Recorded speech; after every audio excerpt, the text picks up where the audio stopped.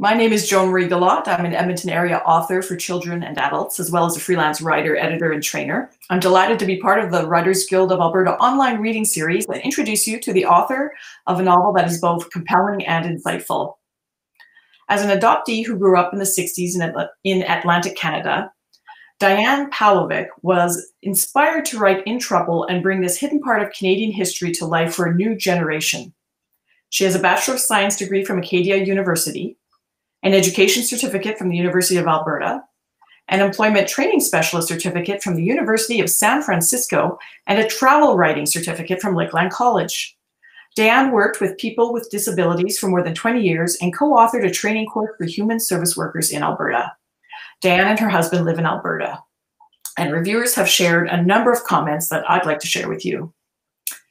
In Trouble is a powerful story about women finding ways to survive when society has turned its back on them. With empathy and care, Dianne Palovcik has brought a little known piece of 1960s Halifax back to life.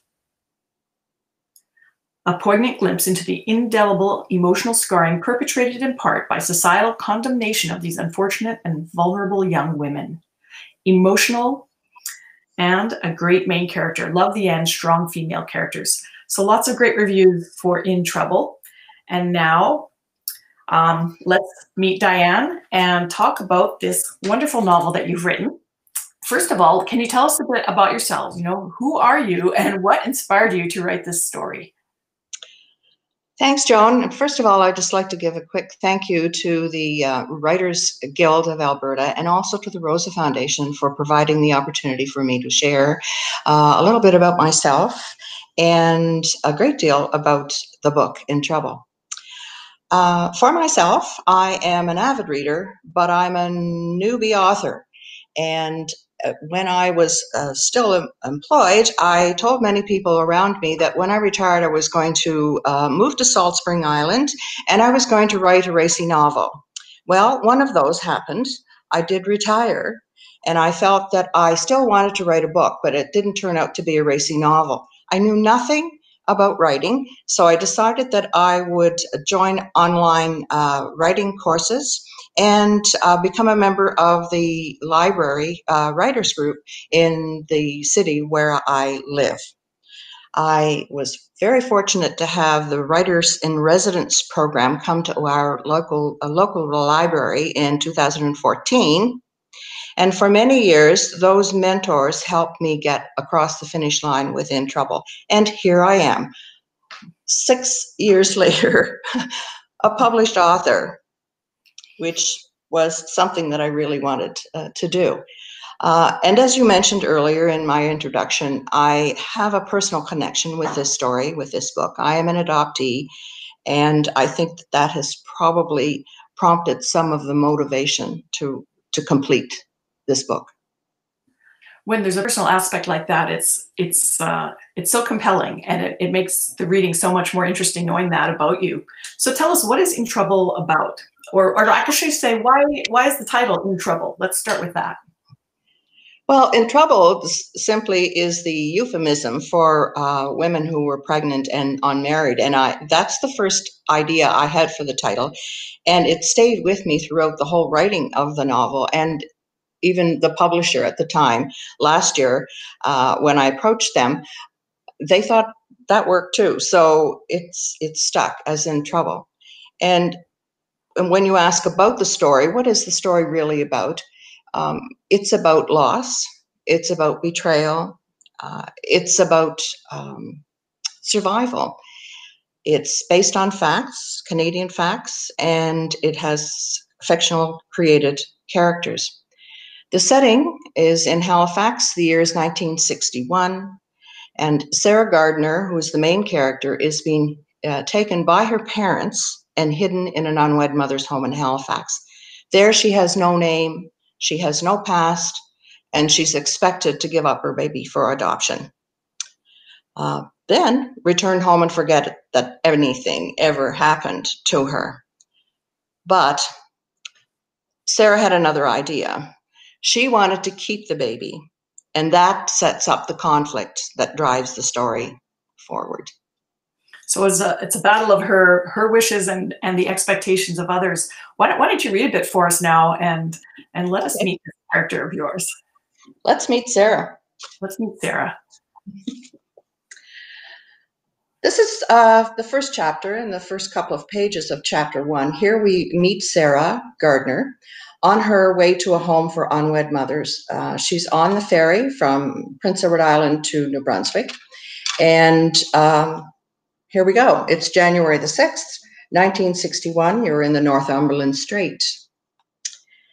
Sarah Gardner leaned against the ship's rail. She'd lost all hope and decided to jump the future she longed for was gone forever, destroyed by those she trusted. I'll jump and I'll make them all feel guilty. Show all those perfect people with holier than thou attitudes. The north wind held across the ship's deck and slapped Sarah's face across her mouth. Stinging spray from the frigid Atlantic gale peppered her face. She took off her glove, eased her hand into her pocket, and stroked the leather cover of her diary. It was the only part of Miles she could hold on to. She closed her eyes against the chilling dampness and summoned his face. Her index finger moved over the zipper, its tiny teeth rippling along the tip of her nail. The moment of pleasure was swept aside in an instant. Then, her back braced against the deck rail, she pounded the deck floor with her heel, pleading for pain to chase away the summer memories. Even now, he owned her heart. While Sarah fought the blustery weather and her demons, other ferry passengers enjoyed a warm journey and food inside the passenger lounge. Large windows offered watery views without the bitter cold. Sarah's parents sat side by side in silence, removed from the other passengers. There was nothing left to say. They simply needed to commit to complete their commitment. Take Sarah to Rose Hill home and leave her there. No one was convinced that family and friends bought their idea that their only child would be spending the time in Halifax taking an art course. It was true, Sarah was exceptionally talented, but leaving school partway through the year was a dead giveaway. But they had no choice. It was 1961. Sarah was 17, pregnant, and society expected her to be out of sight. Like many others over the years, she was going to a non-wed mother's home. This one was in Halifax. There, she would wait for her baby to be born, give it up for adoption, return home. Bad girl problem solved. For weeks, Sarah had pleaded with her mother not to take her away. She hated the calm, preachy phrases her mother used to defend the need for her to leave home. Sarah, you're in trouble. You can't stay here. It's best for you. In time, it will be easier and you'll forget everything. Sarah grasped the deck rail with both hands, took a deep breath, and exhaled. She placed her left foot on the cross bracing, ready to swing herself up, over, and into oblivion. Okay, on three. But the metal lounge door clanged shut. She turned. A tall, dark haired young man in a navy pea coat strolled toward the railing. As he pulled up his collar, he looked straight at her. But she was in no mood for a conversation and she looked away. Pretty snappy out here. You're expect- experiencing the crossing at its worst. Stinging salt water and a fuel smell. Smell. Whew. Got a bet on with somebody inside to see how long you'll stay outside in this? Sarah lifted her head. No, just avoiding them. Ah, I might have chosen to stay in the bathroom instead.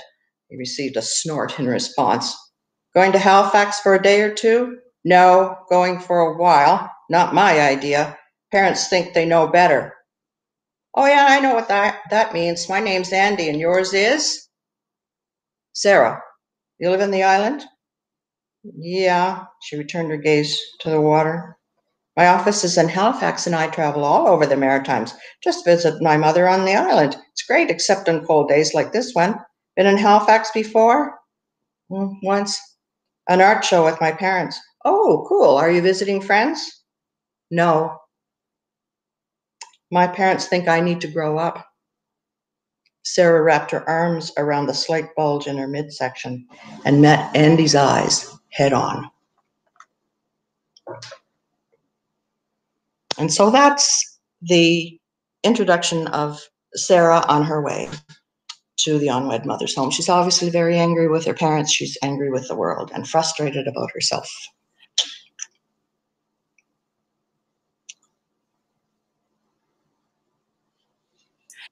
Such an interesting character and an interesting time period and interesting location. Like fun for readers to hear about Atlantic Canada and really, I don't, you know, I, I, hate to say immersed in it because they're on a boat right now, but you know, to feel that setting and the way you describe it is, is very satisfying over here.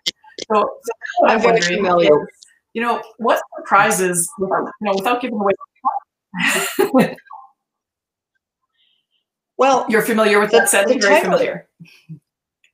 Uh, yeah, I'm very familiar with the Maritimes, so I've it it's it's comforting to me to read the story, even though the the story itself is quite disturbing.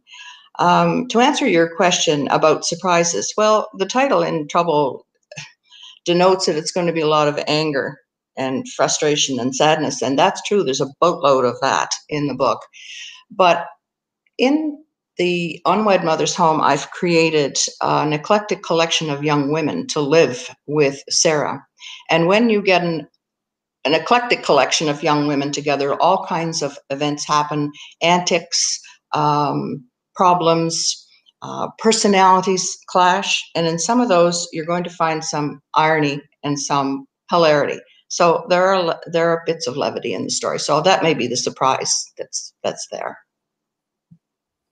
having all the different girls in the in the home with her gives gave you a lot of opportunity to to show different experiences or that people that young women had mm-hmm. leading up to being in the home. And for, I found that very interesting. Yes. And it is, it is. It's one of the things that struck some of the early readers that they really disliked some of the people who were there with her, and others were quite lovely which is what you want. You want to get a reaction from your readers, and, and that I have. I hate that. so, how this story is set in, in, the '60s, but how does it how does it connect with readers today? Well, Why is In yeah. Trouble an important read? Yeah. Well, in the 1940s and the 50s and 60s and the 70s, society really expected unwed mothers to be hidden, to be out of sight and to, to, take the shame and the blame for the pregnancy that they had. So, reading it in 2020 is a whole uh, different world that the reader finds themselves in. And so, I think it's a bit of a history lesson. I mean, it is historical fiction, and I think it, it is there is a bit of history uh, for sure. But the other piece that I want to talk about with regard to that is I think that the characters are very relatable uh, in this book, and they're relatable to multiple generations, which gives us an opportunity for people of different generations to communicate uh, about this subject. And I have a little story that I would quickly like to be able to tell about my farmers market experience with one of the readers of the book. This past summer, I've attended the local farmers market a few evenings. Uh, one of the evenings that I attended, a young uh, middle aged woman actually came to my booth and said, So tell me what this story is really all about. And I did. And she opened up to me that this was an issue that they had in their family in years past. And she would like to bring it into today and to talk about the issue uh, with family members uh, in 2020. So she said, I'm going to read this book and see if it helps me. Two weeks later, she rushed up to my booth, her hand flying in the air and saying, It's a wonderful book. It's a wonderful book. So she came to the booth directly in front of me and said, I this is a wonderful book. I've read it. Um, discussions have already started in the family about what happened so long ago. And the best news ever is my mother is now reading the book. And so I think this is this speaks to what the importance of this book is is about in 2020. I think so too, and I think you know our emotions that people had in the 60s are not entirely different from the emotions we have today. The way that society responds is different. Society's yes, did yes, yeah, that's true. And, and with so many people um, exploring their DNA and finding some family secrets, this is the kind of book that offers perspective of why people made the decisions they made or why they mm-hmm. why they didn't actually get to make their own decisions why they were um, put in positions where they felt they had no choices. So i think i think it definitely offers something for readers today. But you had to do a lot of research for this book. Can you tell me about the research? Um, I rather at times fell in love with the research because it's pretty seductive. And what I found out uh, as I went along in the early uh, weeks and months is I was reading more than I was writing, and that that had to stop real quick. but research is beneficial, and it does help you get into that space and that time and understand what went on. I want to just quickly look at um, a statement that is a shocking statistic of that era. And I'm, I'm bringing the paper in front of me because the source is title is quite lengthy. The one shocking statistic uh, that I found was from uh, the Canadian Senate's uh, 2018 report entitled The Shame is Ours Forced Adoption of the Babies of Unwed Mothers in Post War Canada. And the report indicates that between 400 and 500,000 uh, babies were put into forced adoption between the 1940s and the early 70s 400 and 500,000. It's a stunning number, it's a sobering number, and it was probably one of the most Mm, I would say gut wrenching, but one of the real numbers that that struck me while I was doing my research. It's it's, it's a sobering number. That's staggering. It yeah, is staggering. I know.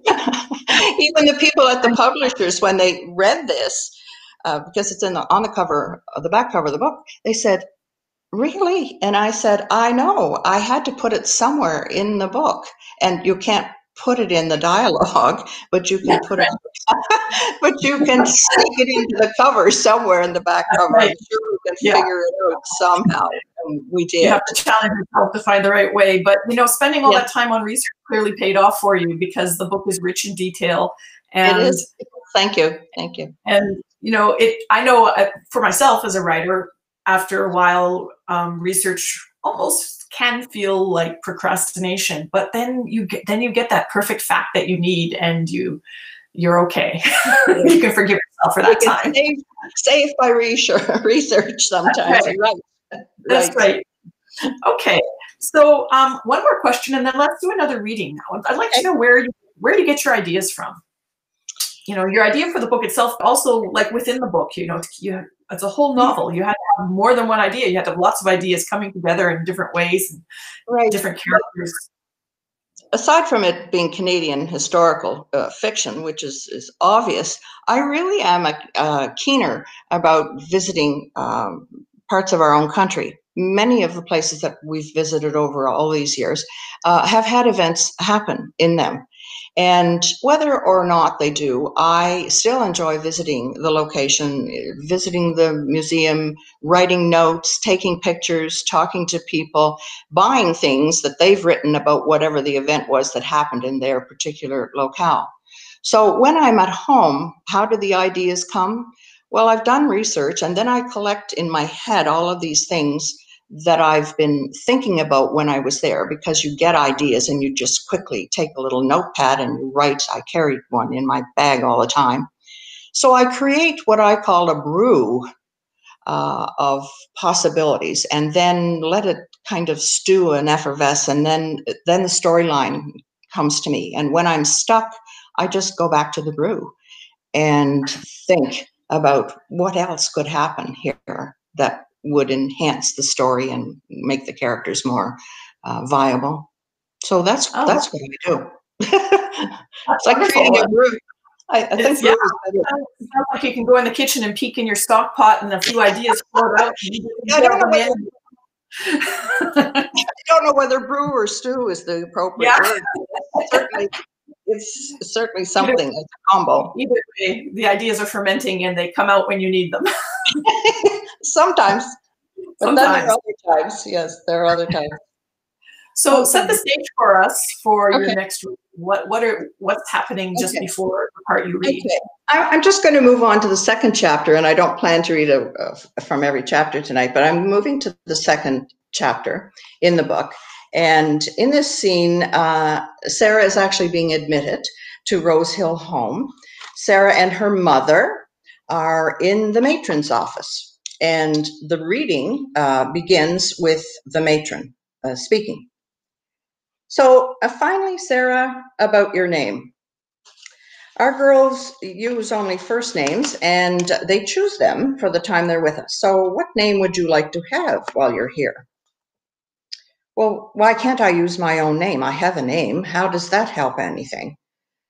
Well, uh, Sarah, you and your mother and your whole family, in fact, are putting this unfortunate event in the past. A new name helps the past disappear you can become someone else for a while. Okay, so I'll tell you later, right? Oh, I'm afraid not.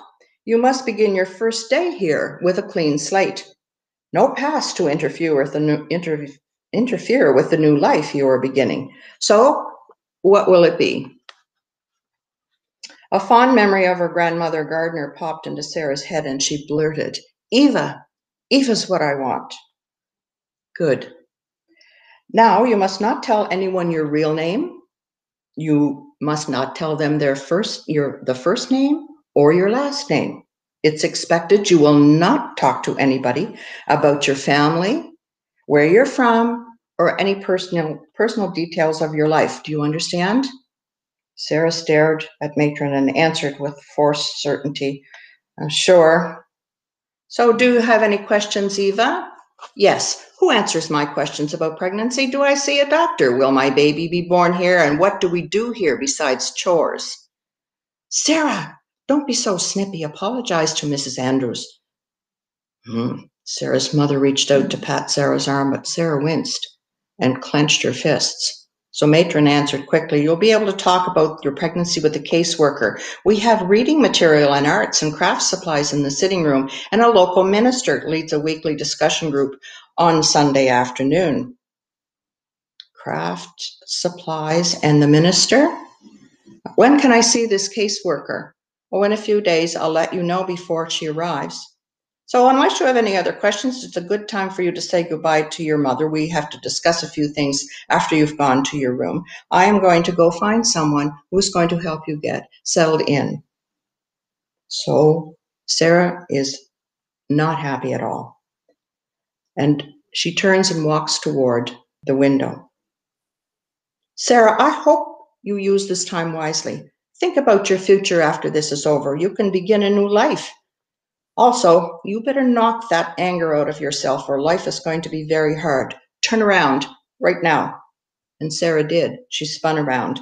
Knock it out of myself? I didn't put it in there in the first place. Why do you think I'm angry? Could it be I can't trust anybody? Could it be nobody will help me? Could it be everybody knows what's best for me but me? Could it be I have no idea what will happen in this present prison now I can't use my own name, wear my own clothes, or use my brain. I don't have a life. How do I start a new one? Tell me that. Wow. So, what everybody wants to know when there's a historical fiction is what parts are true. And so, is it in fact um, true that in in some homes that you found your research that they would have to change their names and be very private about their personal information? Yes, that was very common.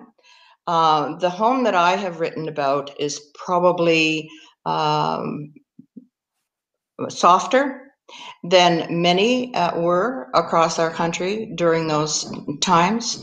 And uh, so, but the what your question that you've asked me, yes, uh, it was basically, uh, I think, an attempt to create privacy for people, for the families, because after all, um, it was an embarrassment. It was a big embarrassment for families to have their daughter um, pregnant and unmarried and in an unwed mother's home. So it was all hush hush. So, so there's all this isolation, and they're they're foisted into um, a home where you know it's a very strange situation. They can't talk about themselves. You you had an endless fodder for frustrating, you know, for making frustrations in, to move your plot forward. And you had to put yourself into that age, into that 16 year old. That's how old Sarah is, right? 16? Yes. You had to put yourself into that place in your head. Was was that a challenge, or how did it feel doing that? Uh, it was a challenge to go back that many years because I'm many decades beyond 16. Uh, but I did grow up in that era and I lived in that environment where um, privacy about a lot of things in life were kept to the family, not just about uh, unwed um, mothers. So it, it, it was a challenge. Um, but I enjoyed it, and it was reliving some of my uh, youthful experiences, I guess, in, in the small village that I grew up in and that location. So it was tough. But, I'm sure it, you know, it challenges, but at the same time, that part of the journey is, what makes writing so satisfying because you have to challenge yourself to go deep and remember things that you might not have thought about about you know the way people lived and the attitudes and the no Sunday shopping and those, yeah. those kinds of details that that um, some people would find so surprising and some of us remember. And uh, that's been that sort of thing has been discussed with me many times by people who've read the book who are of my age or maybe a bit younger, uh, and uh, it brought them took them back to to the time when things happened in their community that they were not privy to. Yeah, it's a, it's a fascinating look back. How long did it take to write In Trouble? Too long. Longer than you thought longer than I thought. Um, it took me six years from the time that I actually started knowing very little about how to write a book until it was published in January of, of this year. Uh, I've, I've speeded up the process a little bit because I'm working on a second one now and I have an idea for a third. So I can't take six years to do novel number two. It's just not going to happen. Well, I'm, I'm going to come back to those um, those future works a little later, but you know, I don't think it's not uncommon to, to spend a long time writing a, a book, and especially a novel of this length. You have multiple characters and perspectives. You've got research. You're learning the craft of writing and perfecting mm-hmm. it, and getting feedback. So, you know, it, six years might sound quite short to some people. I guess so. maybe when you're maybe when you're 30, but. Uh... Well, and, and authors have different approaches. Like some some people are called are plotters. They'll outline and make notes and have a clear idea of where every chapter is going before they start the actual book. And others are called, I'm sure you've known, pantsers, where you write by the seat of your pants. So which are you? Are you a plotter or a pantser? I start out um, as a plotter because I, out of the brew, create um, a story storyline, story arc with uh, what I hope is well-defined characters. And I'm, I'm usually going along quite nicely until uh, one of the characters uh, sometimes hijack a scene and I'm sent off into um, Pantserland because I have to write something by the seat of my pants to work the story out into where it should be going and not take off in this bizarre tangent for, for too long. So I'm a hybrid. Um, I like to think that I'm a planner, but sometimes things, bad things, things happen. My current book, somebody just got murdered, and I wasn't planning to write a murder mystery, but I'm, I'm in the middle of that now, so I have to learn about so you you put your characters in trouble, which is what a writer must do. But then you have the challenge of getting them out, and you have, and that's, that's where maybe you're, you're you're going by the seat of your pants, perhaps. yes, I'm sure you've had the same experience. I have. yes. yes, I have. So it, you know, this this is a, a, a full length novel you've written, and that takes a lot of time. How did you commit to the time required to do this. You you um, you must have some secrets to share. Hmm. Well, uh, I can talk about and I um, I enjoy uh, writing, but I realized fairly early on that I might be the the person who is one uh, the ninety some percent of people who don't finish a novel. Hundred start, ninety some percent don't finish, and I thought I was heading in in, in that direction uh, in the first um, few months. However, I decided that I had to fix this somehow because uh, I was told by a writer uh, mentor that uh, writer's block is all in your mind. well, yeah, that's right, it is. And so, what I uh, just did was literally force myself to sit uh, in the chair and keep the keyboard clicking. I was writing about anything and everything, not all of it related to the story that I was creating, but it seemed to work. And what I've come out of that experience with is the conclusion that you have to, if you're going to write successfully and complete the project, you're going to have to sit in that seat until your brain heats up enough to have creative things bubbling away in in your mind that you can then write about and edit later but you can you know they keep you going. Well it sounds like a good approach and it clearly worked for you. Would you like to read another another section for us? Okay i'm going to uh, skip right through to chapter 19 and read a couple of pages uh, there This is uh, chapter nine, uh, and in this particular chapter, Sarah is really struggling um, emotionally, socially. She's she's quite distraught. Uh, she wants to keep her baby, and her future is at this point quite unclear.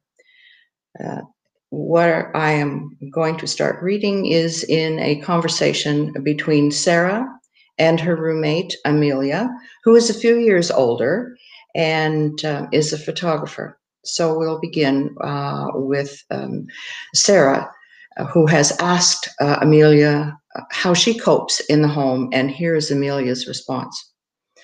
Amelia's soft stone, uh, tone continued, mostly, mostly cope about surviving every day, things that just make days move forward. We all cope in our own way here, you know. Some of us read, some of us eat a lot, some of us annoy others. You sketch. So so what's happening tonight? Oh, I don't I don't know what to do. I need help. And Sarah covered her face with both of her hands. Something in particular tonight? Oh no, it's everything. I can't even think straight. My head's everywhere. And she twirled her index finger in midair. Well, I'm like that sometimes. I feel out of control by all that's going on in my head and around me. It sounds familiar to me. Yeah, I know, but the more I think about everything, the worse it gets. And when does this all end? Honestly, I haven't a clue, Sarah. As I said, I still have awful days. For me, I still have to take each day as it comes. Well, that's really easy for you to say. You've got everything. Uh, you've got a job, you've somewhere to go, you have future waiting for you. Sarah let a deep sigh, followed, a, followed by a long pause, and her voice softened to a whisper. Sorry, sorry. That was a mean thing to say. And she looked around the room. There's no future for me or for my baby anymore. And she looked to the ceiling, eyes searching for an answer. And Amelia then began slowly again and gently. But you do have a future. But it's not the one that you dreamed about with Miles. It's going to be the one you bring to life, not the one that society dictates. Your art will give you strength to manage the difficult times, just as it has here. When your survival skills kick in, planning will begin. I know I know it sounds easy, but it's hard work, hard work every day. But how do I begin? Well, didn't you have dreams, ideas about your future before Miles? Yes, some of them are probably really dumb. Maybe, but that doesn't matter at the moment. Could you start to think about one tonight? Right this minute? No. Sarah wrapped her arms around her stomach. How can you stay so calm? You don't remember the basket case that was me who arrived last week?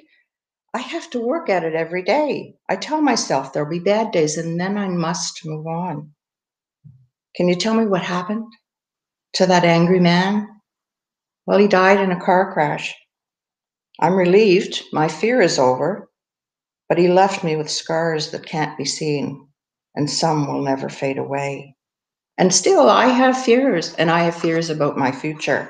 Fears? But the nutter's gone. You can leave here and go back to your life. A work life, yes. But my fears are people fears. Their questions, their looks, their assumptions. About what? Well, my co workers think I'm visiting my family in England right now. Well, why is that a problem? Amelia thought about revealing more, but she chose to remain silent. Hmm. Well, I'll have to make up lots of stories about people and places I didn't see. She immediately felt guilty, but it was the best answer for the moment. Can I ask what you will do when you leave? Well, I'm a photographer, as you probably figured out days ago, and I understand my return to the outside world will be different than yours, but it will be not be easy for either of us. Sarah managed a fleeting smile, but held back the question that she'd agonized over for so, so long. An unthinkable question. She tried to hide from herself and dared not speak out loud. Once uttered, it would become real. The dreadful words would demand an answer. She glanced at Amelia, who was clearly waiting for her to say something. I know. So then Amelia took Sarah's hand and says, You're upset and afraid. Talk to me. Sarah suddenly felt aching heaviness as a pain spread across her chest and she closed her eyes. Breathe, Sarah, breathe slowly. Breathe again. Good. Breathe again.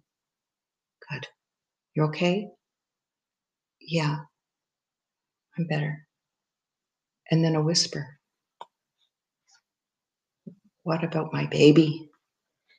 She moved her hands in slow circles over her stomach. I love my baby. What's wrong with me loving and keeping my baby? A pause and a slow, deep breath. Why can't my parents love my baby? And she lifted her head. Am I a bad person? A very powerful choice for a reading. Young people counseling young people when the in a sense when some of the adults let them down you might say mm-hmm. Mm-hmm. they're living it together and they only have each other there uh, so so sometimes having a roommate is a good thing it sure is.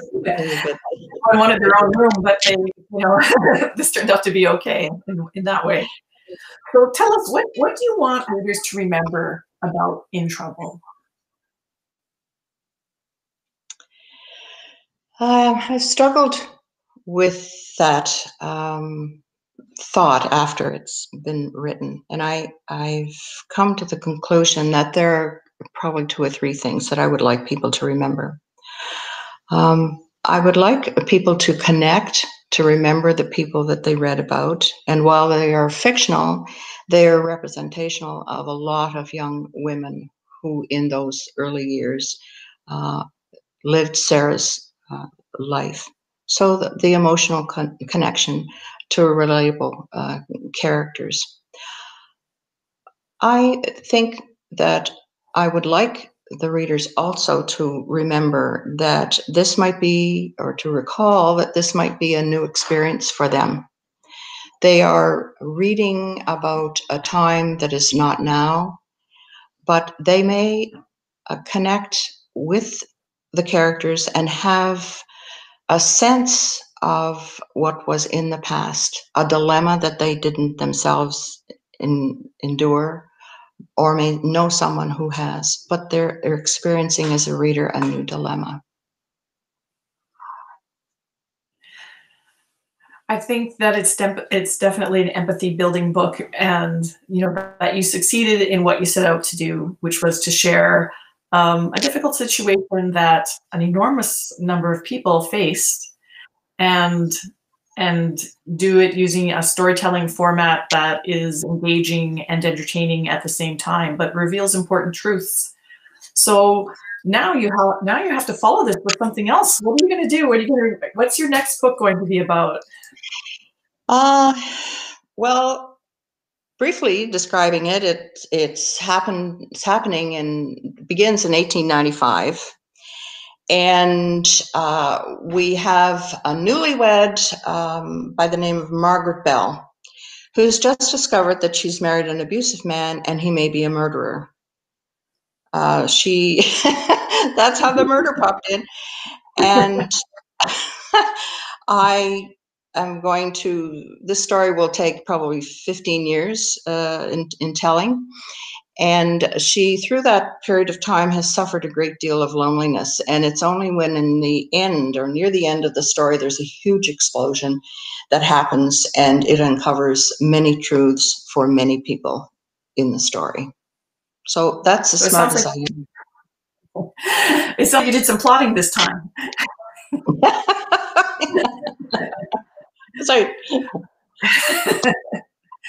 well, I'm I'm going to be fascinated to follow your career and learn more about what you're writing. So tell us, where can people purchase In Trouble? Oh, absolutely.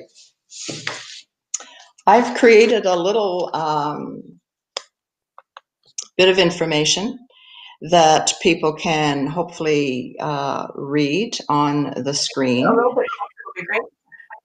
Pardon? A little bit closer would be good. Like you can okay. We okay. can see now the Facebook link there. Okay. So, so, it's available. Yeah, it's available in soft cover at Amazon, ebooks, Kobo, Kindle, and uh, iBook and Apple. Uh, I would also like to have a, a make a plug for local um, bookstores, people's local bookstores to shop local. The book can be ordered at your local bookstore and they will bring it in for you. So if Amazon is not a choice for you and you'd rather shop locally at your local bookstore, then you can certainly do that too. And, and if people want to follow me, people want to follow me um, on Facebook, Dianne Palovcik, author. Well, that's wonderful. Well, thank you so much for answering all these questions and sharing your work with us and the, the wonderful readings that were so engaging to hear. I think um, that you're definitely an author to follow, and I, I hope that um, you continue to write, and each project will, you know, take different lengths of time, but it's it's so satisfying to see that book come together and have the opportunity to hear the words from the author's mouth, to hear you read the story yourself it's it's powerful. So you've you've definitely got the gift for words. Thank you very much, Joan. Appreciate it.